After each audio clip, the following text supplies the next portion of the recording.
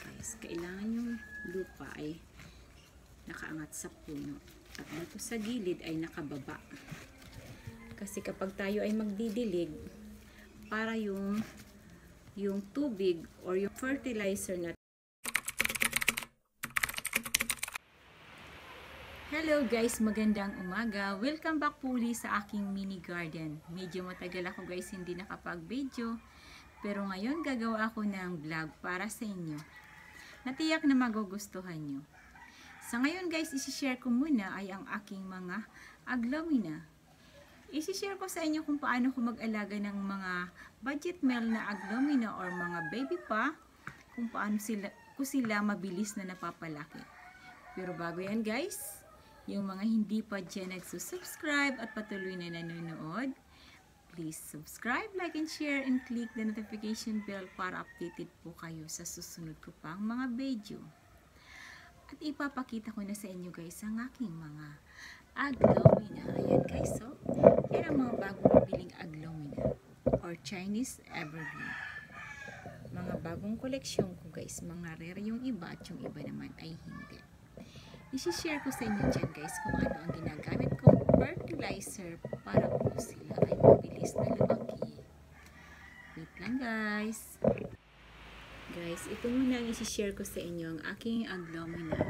Kung paano ako magpalusog ng mga babying aglomina guys. Isi-share ko sa inyo kung paano ko sila inaalagaan kapag sila ay maliliit pa. Pero bago yan guys, papakilala ko muna sa inyo ang aking mga bagong aglomina. Mga 2 weeks na to sa akin guys. 2 weeks or, oo nga, 2 weeks na to. Dahil ito nga natanggalan na to ng dalawang dahon. Nas, namatay yung dalawang dahon niya. Pero bago yan guys, ipapakilala ko muna sa inyo ang aking mga aglawin na may maingay na naman. Ito guys ang aking si Pink Soksum. Tingnan nyo. Nabili ko siya, mayroon pa siyang pangalan. Ayan guys ang aking pink suksum. May kabilugan pala ang dahon ni pink suksum. Pink na pink siya guys at medyo bilog. Nagbibibilog ang kanyang oval din ang kanyang dahon na guys oval. Pero medyo may kaunting pagkabilog siya o oh, kaunti. May kaunti. Ito yung unang dahon ng nabili ko siya. At ito guys yung napadahon ko na siya dalawa. Dahil medyo nainitan siya sa nalalagyan niya, ito nag-green na naman siya. Inabot siya ng morning sun naman guys, pero bakit nag-iba ang kulay ng aking pink suksong. Ayan ang bagong dahon niya. Ito yung napadahon ko na sa kanila, dalawa na ang dahon niya. Malusog na oh. Nang mabili ko to maliit lang kasi mura lang siya guys. Nabili ko siya ng mura lang. 250 lang ang bili ko dito bagong ano pa lang siya, bagong tanggal. Kaya ayan guys, oh. Pero buhay na siya, established na po siya. Ayan. At ito naman guys ang aking si Red Angel. Tingnan nyo guys si Red Angel na napakaganda ng dahon niya. Ayan guys, lumulusog na rin ang dahon ng aking Red Angel.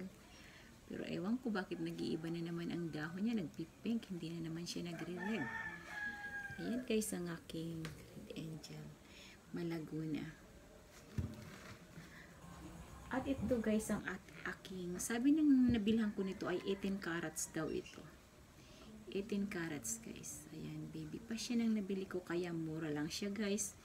Mura lang siyang nabili ko. Nabili ko lang to ng tig ato 250 lang guys. At ito naman ang aking pink dalmatian na nabili ko lang siya ng 100. Ang ganda ng pink dalmatian guys kasi tingnan nyo oh, may mga batik-batik siya na kulay pink at saka kulay green. Ayan guys, ang mga baby kong aglomina. At ito guys yung aking, yung, yung anak ng aking Katriana. Ayan na siya, malaki-laki na siya guys. Lumulusog na at may tatlo o mag-aapat na ang dahon niya. Yan. Ang gagawin ko sa kanila guys ay isi-share ko sa inyo kung paano ko siya pinapataba at kung ano ang ginagamit ko sa kanyang pataba kapag sila ay maliliit pa. Kasi guys, hindi pa naman sila pwedeng magsupling. Kaya ang ginagamit ko sa kanya ay complete or eto guys. Ito ang aking complete. Yan ang aking complete guys. Ito ang ginagamit ko kapag ang mga halaman ko ay baby pa. Para madali silang lumaki. At kapag malalaki na sila at gusto ko na silang pasukiin, ay ang ginagamit ko ay yung kagaya nito guys na gusto ko na silang pasuwiin. Ayan na ganito. Ang ginagamit ko sa kanila ay yun ng itlog. Ayan guys, ang aking magandang plant na napakalusog. Kapag ganito na siya kalaki guys, ginagamitan ko na siya ng itlog para mag-supling na siya. Pero sa ngayon guys, ang isi-share ko sa inyo ay ang akin, aking munang mga babying aglaumina. Bago tayo maglagay ng fertilizer ay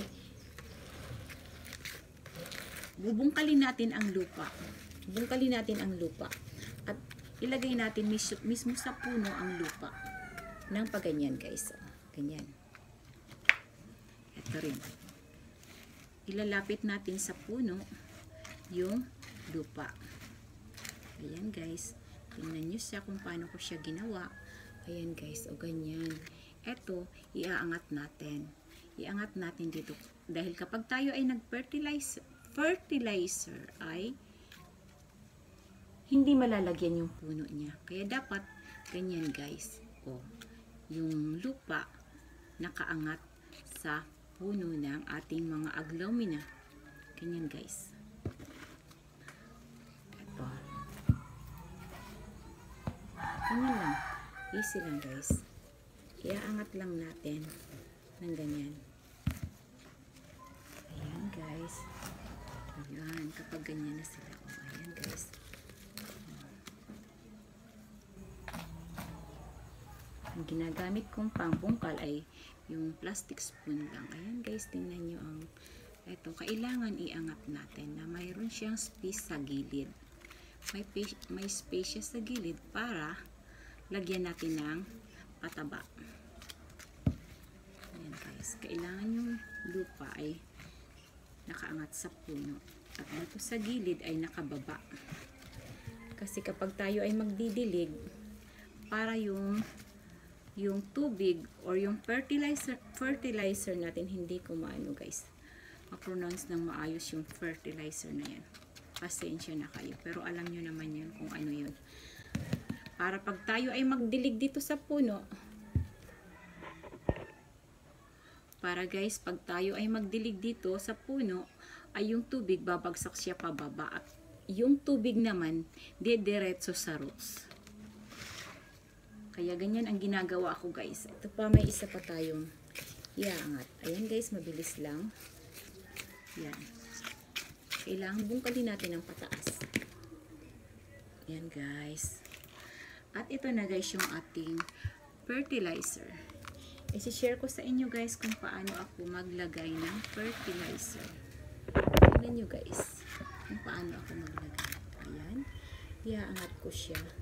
Kasi para yung dito sa gilid is mas mababa ang lupa at mas mataas dito sa puno. Kasi guys, yung may nakita ako sa Facebook na may nagtanong kung bakit namatay yung mga plant nila ay nag-fertilizer siya ng complete pero hindi niya alam kung paano gawin.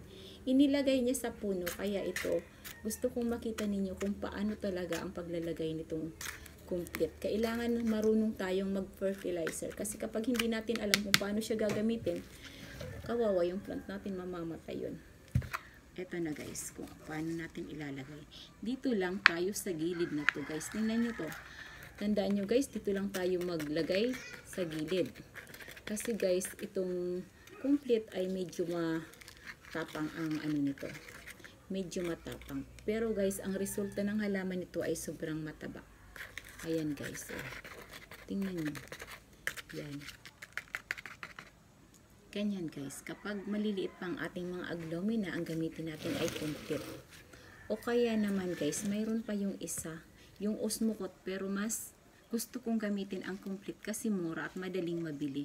Yung osmokot kasi guys, ino-order pa yun sa online. Ayan. Ganito lang guys, sa gilid lang tayo maglalagay ng kaunti lang kaunti lang, wag nating damihan kasi baka masira ang halaman natin. Ayan, iikot lang natin. Tingnan nyo guys, ayan. Sa gilid lang. At ito naman. tiyakin lang natin na nasa gilid lang ang ating complete or 14-14 sa gilid lang ng puno.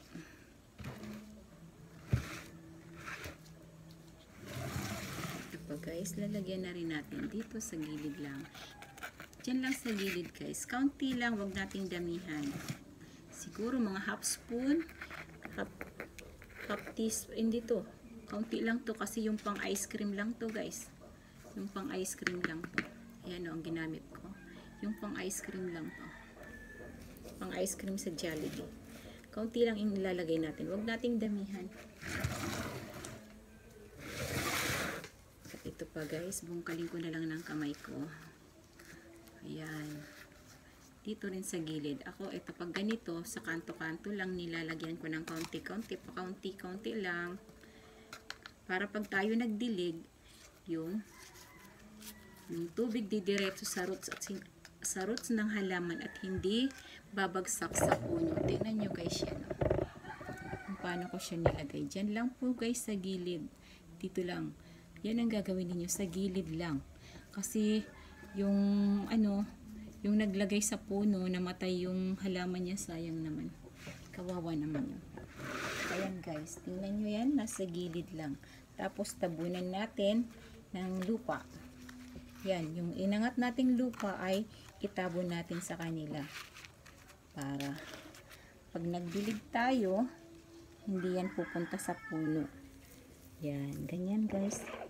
Yan, yung nakaangat na lupa, ibabalik din natin. Ayan. O, tatabunan din natin yung fertilizer. Ayan guys. Ganyan.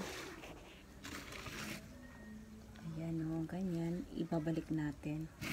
Para pag nag-ano tayo, nagdilig, yung tubig ay didiretso doon sa roots niya at hindi dito.